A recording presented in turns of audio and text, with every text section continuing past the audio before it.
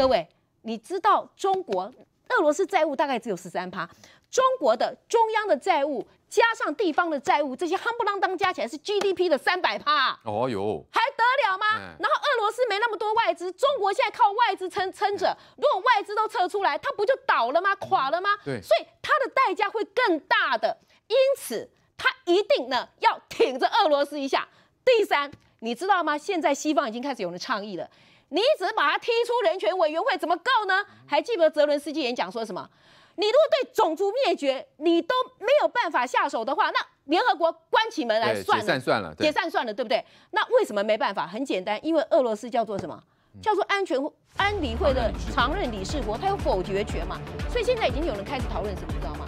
要把俄罗斯踢出去，好，安理会，或者把否决权取消。